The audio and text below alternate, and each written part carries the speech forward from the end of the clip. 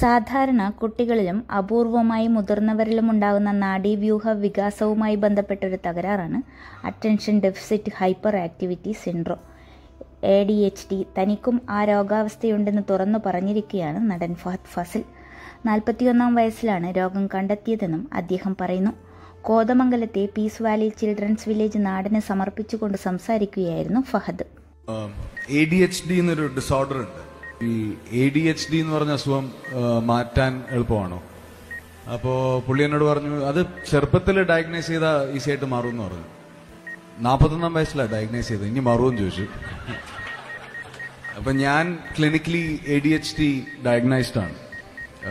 ഇത്രത്തോളം ഇല്ലെങ്കിലും ചില ചില രീതിയിലുള്ള ഡിസോർഡേഴ്സ് എനിക്കുണ്ട്. കുട്ടികളായിരിക്കുമ്പോൾ തന്നെ എ ഡി എച്ച് ഡി കണ്ടെത്തിയാൽ ചികിത്സിച്ചു മാറ്റാമെന്നും എന്നാൽ തനിക്ക് നാൽപ്പത്തിയൊന്നാം വയസ്സിൽ കണ്ടെത്തിയതിനാൽ ഇനി അത് മാറാനുള്ള സാധ്യതയില്ലെന്നും ഫഹദ് പറയുന്നു. തന്നെ കാണുമ്പോൾ നിങ്ങൾക്ക് ചിരിക്കാൻ കഴിയുന്നുണ്ടെങ്കിൽ അതാണ് നിങ്ങളോട് ചെയ്യാൻ കഴിയുന്ന വലിയ കാര്യമെന്നും അദ്ദേഹം കൂട്ടിച്ചേർത്തു. നാഡീവ്യൂഹ വികാസവുമായി ബന്ധപ്പെട്ടിട്ടുള്ള തകരാണ് എ ഡി എച്ച് ഡി ഒരു കാര്യത്തിലും ശ്രദ്ധ പതിപ്പിക്കാനാകാതെ വരുന്ന ഇൻ അറ്റൻഷൻ ഒരു കാര്യത്തിലും ക്ഷമയില്ലാതെ എടുത്തുചാടി ചെയ്യുന്ന ഇമ്പൾസിവിറ്റി ഒരിക്കലും അടങ്ങിയിരിക്കാതെ ഓടി നടക്കുന്ന ഹൈപ്പർ ആക്ടിവിറ്റി എന്നിവയാണ് എ ഡി എച്ച് ഡിയുടെ മുഖമുദ്ര.